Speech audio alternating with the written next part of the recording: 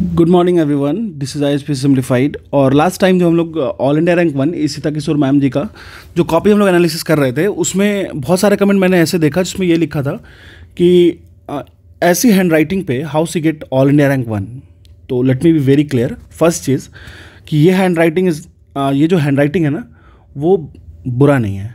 दूसरा चीज़ यूपीएससी जो यूपीएससी के पैनलिस्ट या इवेलुएटर्स बैठे हैं ना, उनको हैंड राइटिंग से बहुत ज़्यादा फ़र्क नहीं पड़ता, ठीक है?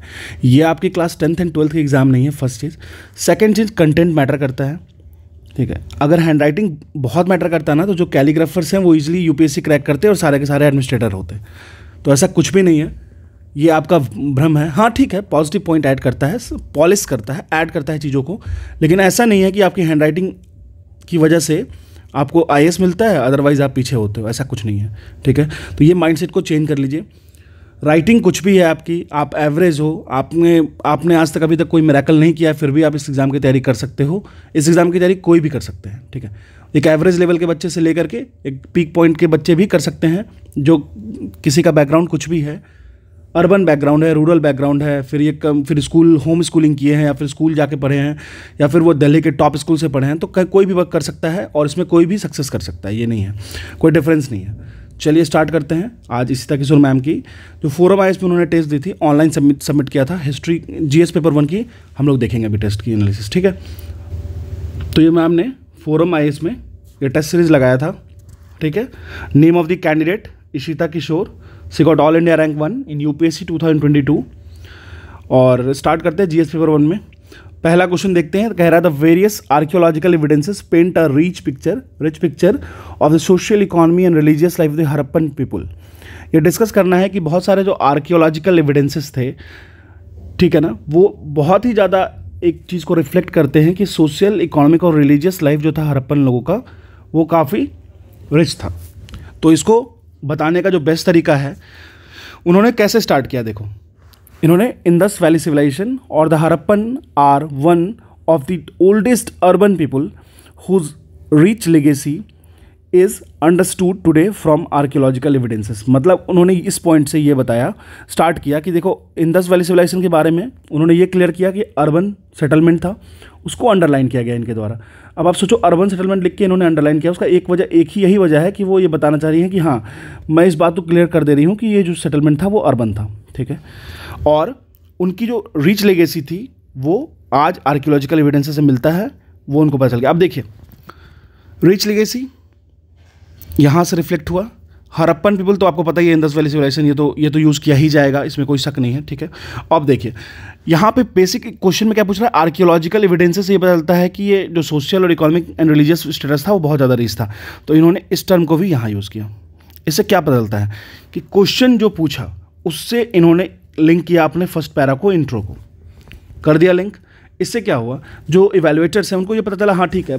देखिए, सबसे बड़ी बात क्या होती है ना कि हम लोग आंसर से डाइवर्ट होते हैं। पूछता कुछ है, लिखते कुछ है। जैसे मान लो मैं, मैंने एक क्वेश्चन दिया था, अपने आंसर राइटिंग सेशन हमारा चलता है उसमें।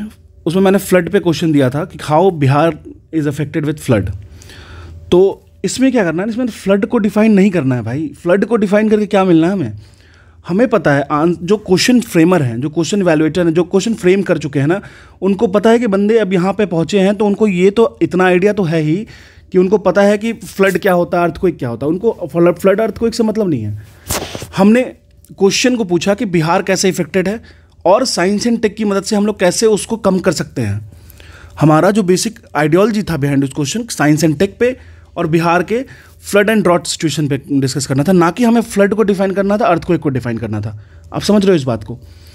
इमोशंस को समझो टोन को समझो। और टोन को नहीं समझोगे तो फ़र्स्ट पैरा पढ़ेंगे और आपको मार्क्स कम मिलेगा। इवन दो आपने कंटेंट बहुत अच्छा लिखा है, सब कुछ ऐड किया है, लेकिन ये नहीं होना चाहिए।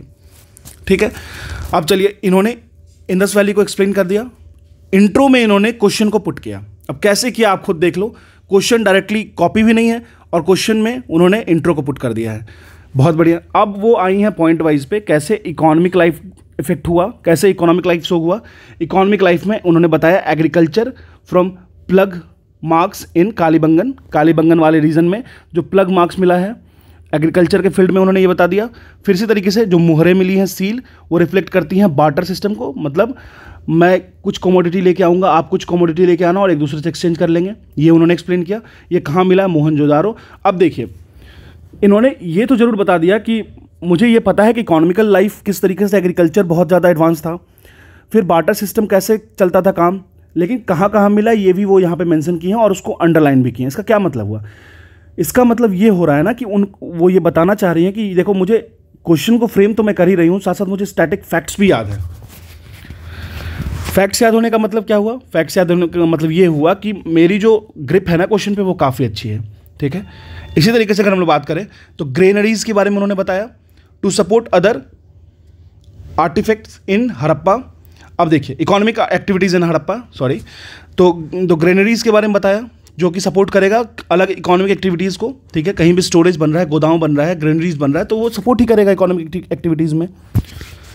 तो ये हुआ इकोनॉमिक एक्टिविटीज़ में, उन्होंने ये बता दिया कि देखो, ये जो आर्कियोलॉजिकल सोर्सेस मिले हैं, वो कैसे, किस तरीके से रिफ्लेक्ट कर रहे हैं कि जो आर्क जो हरप्पन के, हरप्पा के लोग थे, वो कैसे रीच थे सोशल इकोनॉमिक एंड रिलीजियस में। तो देखो, एकदम आपने, उन्होंने इकोनॉमिक उठा लिया। अब इकोनॉमिक का पॉइंट ओवर हो चुका है। इकोनॉमिक ओवर हो चुका है। अब देखिए, वो चलेंगे।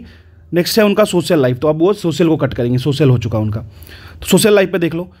Stadium found in Lothal dockyard dockyard भी मिला था। यहाँ पे बहुत पॉपुलर है। तो stadium found in Lothal upper and lower citadel reflects inequalities example Harappa. Upper, एक होता था ना, अपर अपर सिटेडल होता था, फिर एक लोअर सिटेडल होता था, जहाँ पे ये कुछ अपर सोसाइटी के लोग ऊपर रहते थे, कुछ मतलब लोअर सोसाइटी, जैसे वर्कर क्लास हो गया वर्कर क्लैन हो गए वो नीचे रहते थे, ठीक है? बैंगल्स फैक्ट्री मिला है, ठीक है? यहाँ पे मतलब क्या हुआ कि वुमेन लव्ड ड्रेसिंग अप ये भी एक सोशल एक्टिविटीज़ हुआ। ड्रेनेज मिला है, जो कि अर्बन प्लानिंग सिस्टम को शो करता है। अर्बन प्लानिंग सिस्टम का आप जब सोशल सोसाइटी में रह रहे होगे, तभी तो ड्रेनेज ड्रेनेज की सोचोगे।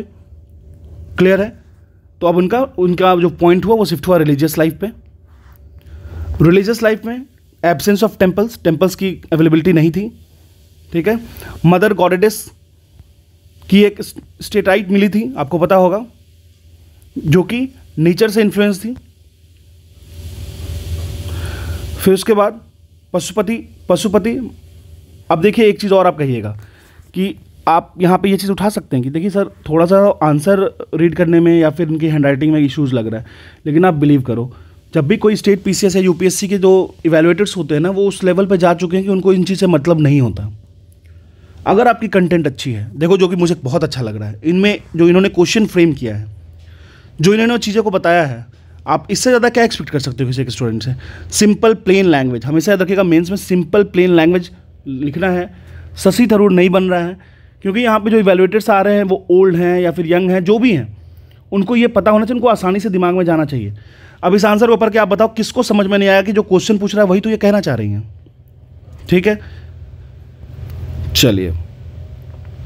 अब देखिए, उन्होंने बताया सीरीज़ जो था, वो ग्रिड फॉर्मेट का था। Inspiring modern day architecture like Chandigarh में चंडीगढ़ में उसी तरीके का है। तो देखिए अब यहाँ पे क्या हुआ हड़प्पा को वो कोरिलेट कर दी एग्ज़ाम्पल सेट कर दी चंडीगढ़ से। मतलब अभी से कंपेयर कर दी। इतनी अच्छी पॉइंट हो कौन मतलब कोई बंदा को क्यों नहीं मार्क्स देगा, ये बताओ आप। तो इन्होंने बता दिया कि ये सारी पॉइंट है सोशियल हो गई इकोनॉमिक हो गई रिलीजियस हो गई। ये ये डिफरेंसेस थी, ये ये एबसेंस था। सो इसीलिए thus this lines and the learnings from their evidences have had a lasting impact over question over हो गया। इतना ही लिखना था। लेकिन आपको ये आंसर देख के ये तो नहीं फील हो रहा ना कि बहुत ज़्यादा, पता नहीं क्या लिख दिए हैं। ऐसा नहीं है। इवन क्लास टेंथ का बच्चा भी क्लास टेंथ के बच्चा भी इस आंसर को पढ़ के सीख सकता है। तो क्लास टेंथ के लिए भी ये आसान हो गया।